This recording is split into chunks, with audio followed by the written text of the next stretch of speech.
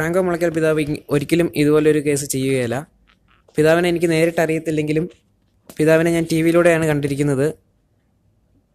പിതാവ് കൊടുത്തിരിക്കുന്ന തെളിവുകളെല്ലാം വെച്ചിട്ടാണെങ്കിൽ വെച്ചിട്ടാണെങ്കിൽ തന്നെ നമുക്ക് വെറുതെ ഇരുന്നാൽ തന്നെ ആലോചിക്കാവുന്നതേ ഉള്ളൂ പിതാവ് ഇങ്ങനെ ചെയ്തിട്ടില്ല എന്നുള്ളത്.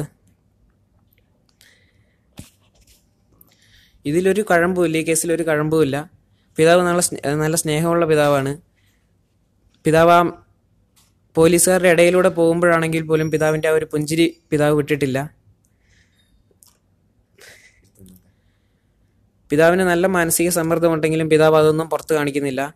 പിതാവ് ഇത്രയും വലിയ പ്രശ്നങ്ങളുടെ ഇടയിലൂടെ പോകുമ്പോഴാണെങ്കിൽ പോലും പിതാവ് ആ ഒരു സിമ്പിളായിട്ടാണ് കാര്യങ്ങളെല്ലാം നമ്മൾ നമ്മൾ നമ്മളെ ടി വിയിലൂടെ കാണുമ്പോൾ തന്നെ നമുക്കറിയാം. പിതാ- പിതാവ് അതെല്ലാം സിമ്പിളായിട്ടാണ് കാണുന്നത്.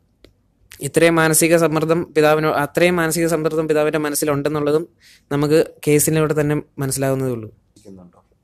തീർച്ചയായും വിശ്വസിക്കുന്നുണ്ട്. പിതാവ് ആദ്യമായിട്ട് ഇതിനെക്കുറിച്ച് പ്രതികരിക്കാൻ വേണ്ടി തന്നെ വന്നതും പിതാവ് പറഞ്ഞത് ഈ ഈ കുരിശ് എനിക്കുള്ളതാണെങ്കിൽ ഇത് ഞാൻ അങ്ങേയറ്റം കാൽവരി വരെ ഞാൻ ഇത് ചുമക്കും എന്ന് തന്നെയാണ് പിതാവ് പറഞ്ഞിരുന്നത്. ശരിക്കും പിതാവ് നല്ല ലെവലിൽ ഇതിനെക്കുറിച്ച് ക്ഷമിച്ചും സഹിച്ചുമാണ് നിൽക്കുന്നത്. ഏതൊരു മനുഷ്യനാണെങ്കിൽ പോലും ഇത്രയധികം പുള്ളി പിതാവ് ചെയ്യാത്ത കേസാണെങ്കിൽ ഇത്രയധികം ചെയ് അവർ പറഞ്ഞിട്ടും പിതാവ് പിടിച്ചു നിൽക്കുന്നു.